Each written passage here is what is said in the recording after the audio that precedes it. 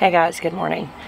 It's about 6.45 a.m. right now, and I am about to do a little bit of quick harvesting. I have some beans that need to be harvested. It's supposed to rain all morning. In fact, right now it says 70% coverage, so I don't even know how far we're gonna get in this video. I came out here to harvest and completely forgot to grab a basket, but we'll get by with the bucket. So right here I have this row of Calima green beans. It does have some volunteer zinnias and stuff growing in it that I left. The walkways of the no-dig garden have gotten pretty intense because I was not able to source any fresh wood chips this year. So if you want to find wood chips, you can typically contact arborists. You can contact, there's a service called ChipDrop. I'm gonna talk and pick so that if it starts raining, I will have at least got something done. Um, ChipDrop, you can sign up. You do have to renew your sign up like every, I think they say it's best. If you've signed up before and you've been like, oh, I signed up a year ago, I never got anything. But you're supposed to renew it every like 30 or 60 days. I've done all of it. I've called multiple arborists. I've really tried to stay on top of getting wood chips. But when you live very rurally, it can be kind of difficult. Like I'm not on the way to anywhere. We live like 15 minutes out of town limits and so you, you can typically really luck out and get a lot of stuff if you live either in town or you live on the way to the arborist's yard where they park their truck. Because essentially they're looking for a place to dump the wood chips from tree work that they're doing that isn't to cost them more time and money, like out of their way. I was never able to source wood chips in Arkansas either. Here, I've had a couple of loads dropped off just from consistently calling arborists. Um, I'm in the Midlands of South Carolina, and so a lot of the wood is pine, which is okay, but pine does raise the acidity of soil. And it's great for walkways and that's what I was hoping to be able to get. Man, these plants are loaded. I like, um, I was hoping to be able to get more pine to put down in these walkways and I just, I wasn't able to. Which means I have weedy walkways, it's okay. We'll do the same thing as we did last year in this garden, put the chickens in it at the end of the year and then once they've scratched through everything, we'll put a tarp down and then hopefully by next year I'll be able to get a good deal of wood chips and mulch it heavily again. Right now we're just gonna have to weed eat the, the walkways because this grass came through.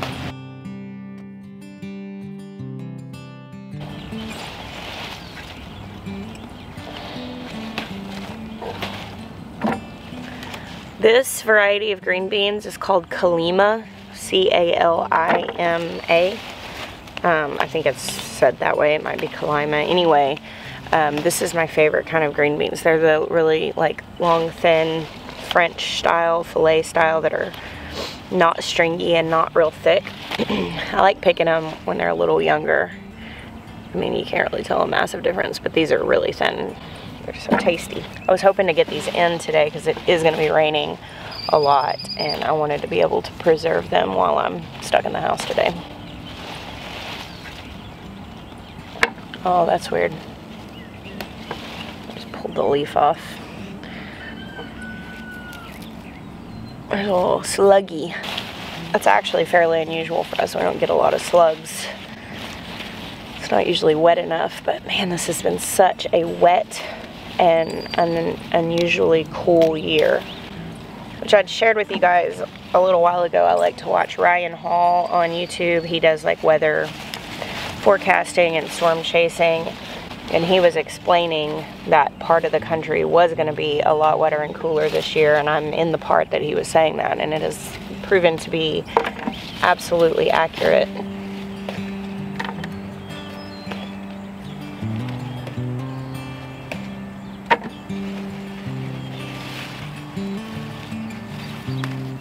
Right here next to my green bean row I have a tomato that volunteered and I left and I'm just letting it sprawl. Um, I'm pretty sure this is going to be a spoon variety, which is the really tiny little tomatoes. That's what it looks like to me. Um, those plants have really smooth stems and really tiny blossoms because they produce really tiny tomatoes. And I'm assuming that's what it is. It was probably planted by a bird last year because I had them growing over there last year. If you are dealing with slugs, They're, they are, they typically are more common in places they get a lot of rain and moisture, but the best way I've seen to deal with them, if you're dealing with like a lot of them, and they will damage, especially soft-bodied fruits, like if you've got strawberries and um, like leafy things that are on the softer side, lettuces and stuff like that. That's what I've dealt with slugs. Um, where I have lived here and in Arkansas, where it's very hot, Usually slugs are kind of a spring or fall problem. It's very unusual to see one like I just did at the middle of June because usually by now it's really too hot and dry for slugs. But as I said, cooler and more damp. But beer traps are a really good way to deal with slugs if they're damaging your stuff, which is where you take like a really shallow bowl or even a lid. Um, depends on if you have the little bitty slugs or if you've got a big issue with like big ones. If you had big ones, you would want to do a bowl.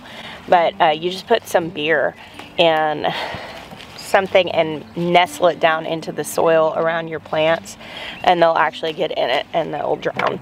I don't know why beer, but it does work.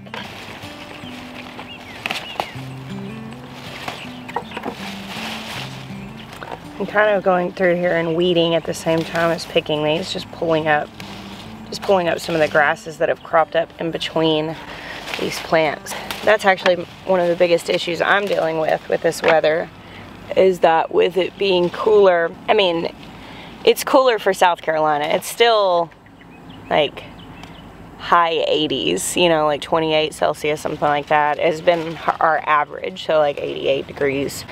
Um, and I know for a lot of people that's still really warm, but for here in June, for us to not be having highs in the 90s is, it's unusual. For it to still be getting as cool as it is at night is unusual. But it is causing the grass and the weeds to grow like crazy. And then of course, it's raining, so it's hard to be out here pulling them. So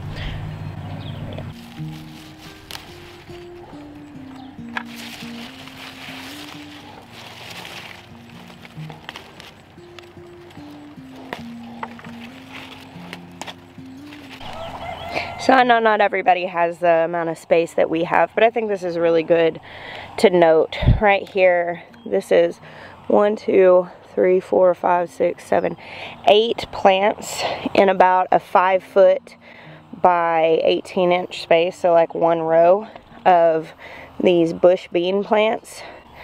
And here's what I just picked, which is about a quarter of this five gallon bucket full from that one little row. That's pretty awesome. So with any plants that you are growing, I know if you've been here, you've heard me say these things over and over, but repetition is good for us. It helps us learn and retain information. And I'm probably gonna keep repeating things because there are new people here all the time. And we want them to learn, right?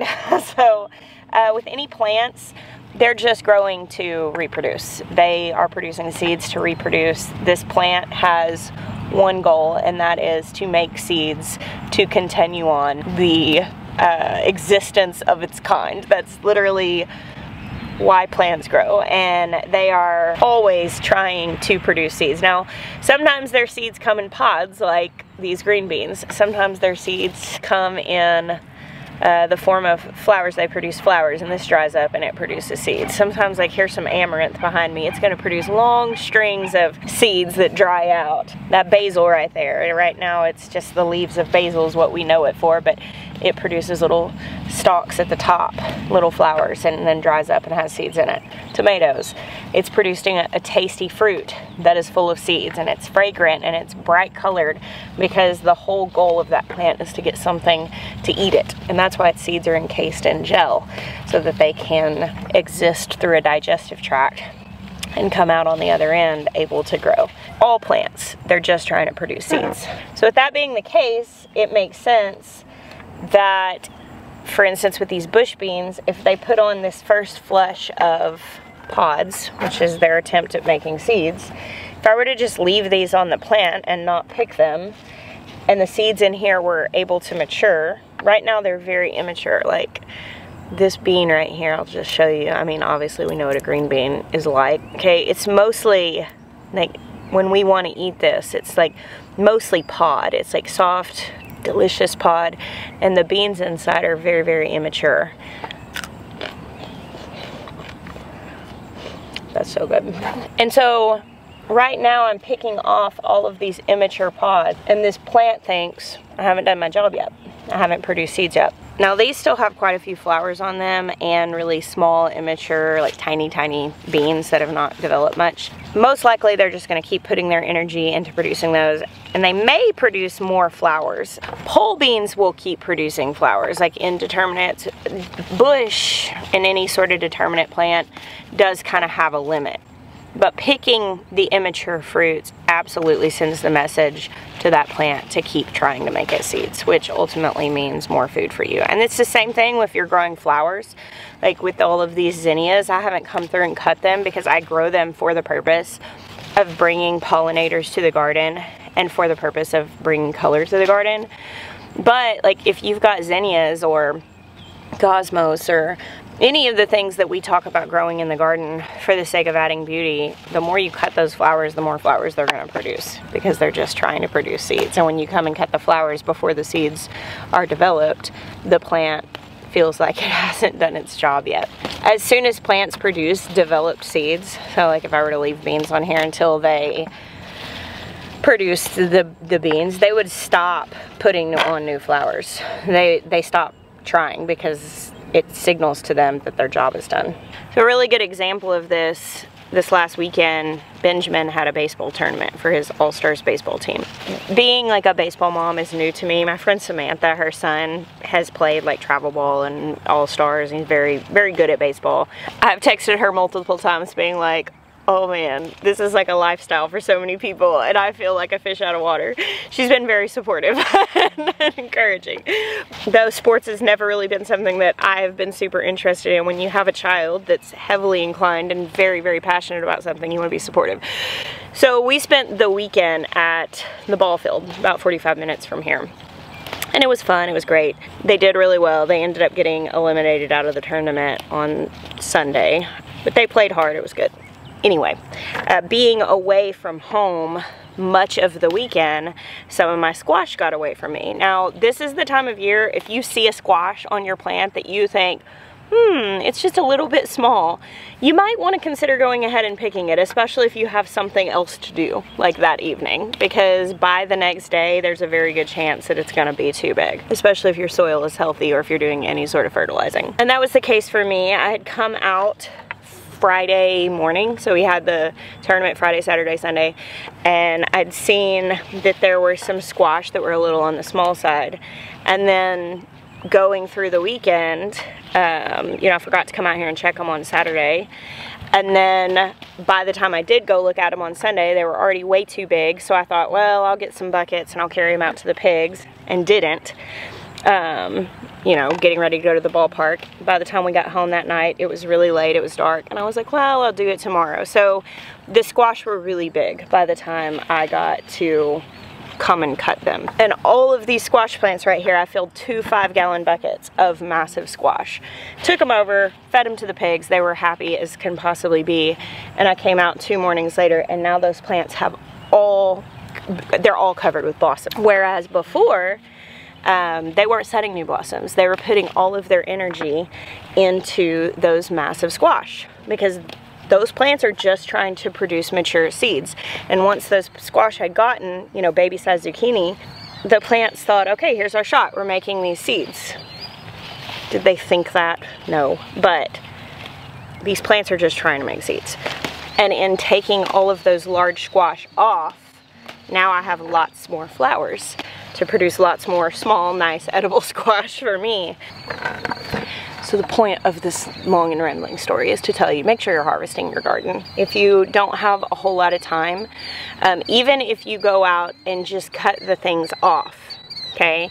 Even if you literally cut them off and leave them laying there. If you say, I don't want that squash, just go ahead and cut it off because you might want the next one. And if you don't cut that one off, you're telling that plant that its job's done and you're ultimately costing yourself harvest. Man, these plants are loaded. It's awesome.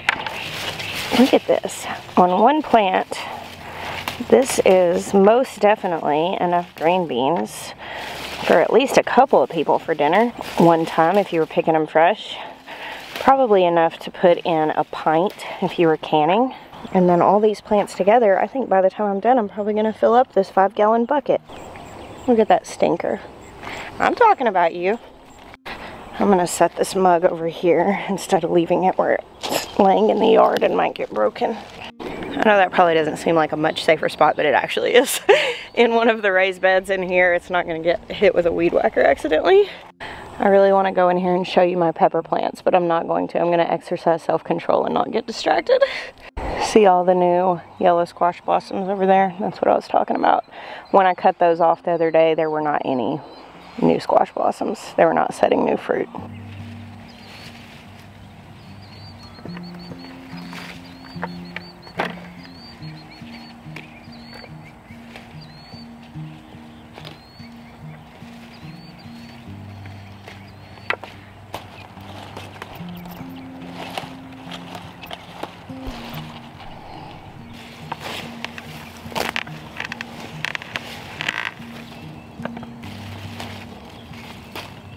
All right, this bed is four feet by 16 feet.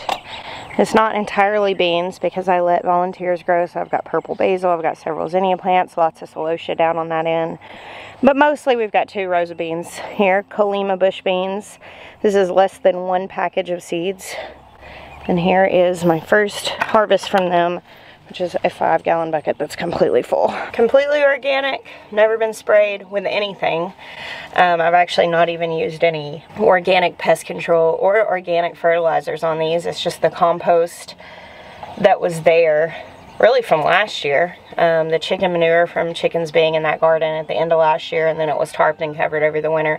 I didn't add any amendments when I took that tarp off. I just planted it.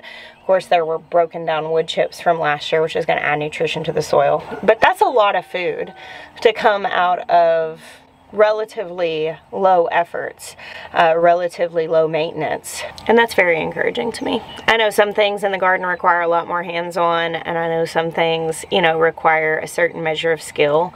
But whenever you have something like this that you know you really didn't work that hard for and you got a whole five gallon bucket worth of food, I have no idea. Like, I'm not 100% sure what I would have to pay for this many beans at the grocery store because I don't know exactly how many pounds it is. So that is financial savings, but then on top of that, I don't have to depend on anybody else for that. It's just right there. And now, um, that those plants are going to produce more. I'll get another big harvest off of this. Now with bush beans, they do at some point stop.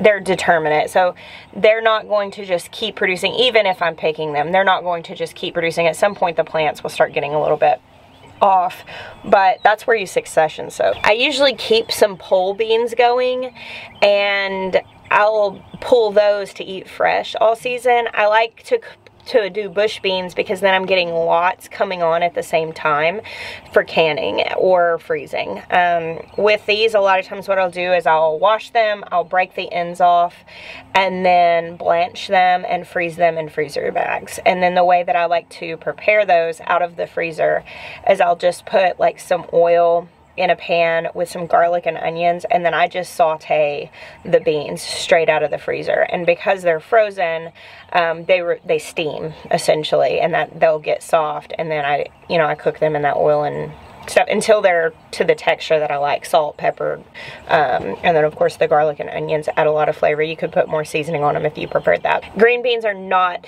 like the favorite of my family. Um, whereas my family will eat their weight in like cabbage and Brussels sprouts. They love asparagus. They, uh, they'll eat salads and stuff like that. But mostly I like green beans. A couple of the kids like green beans. Jeremiah, that's the one thing he, well, I say the one thing he doesn't like tomatoes either, but uh, that's one of the things he really does not care for, no matter how I cook them. So I will freeze these in smaller quantities. So I, I usually do like a quart bag, but I don't even like fill it slam full because we just won't eat that many at, at one time. And as far as canning, I almost always just can green beans in pints because again, I don't need that much at once. But I like the bush beans for preserving so I can do a lot at once. And then throughout the season, if I want fresh ones, I usually will go pick them off of the pole beans because those just keep producing all season long as long as you are continuing to pick them, signaling to the plant that it still needs to try to produce seeds. And with succession sowing, like right now I'm picking these Calima beans and I'm gonna go ahead and sow another bed just like that, same size of Calima beans so that I don't know how long it takes, 50, 45 days or something like that, 50 days from now, I can do this exact same thing again. I can pick another five gallon bucket. I can spend another rainy day preserving them. And you can keep doing that all through the season. This is where it's important to know your estimated first frost date in the fall. Mine is like at the end of October, beginning of November. So I can count back 50-ish days from that and I can keep planting these beans up to that point. I can keep planting these beans into September. It's pretty typical for me to have to come out on the morning of our first forecasted frost at the end of the season and pick green beans because I'm going to keep planting them all through the season so I can preserve enough that I can eat them all winter. Well, I think the rain is starting. Thank you guys for hanging out with me today. Just in time. I got my bucket of beans, so I got something to do in the house. I bless you. Until next time.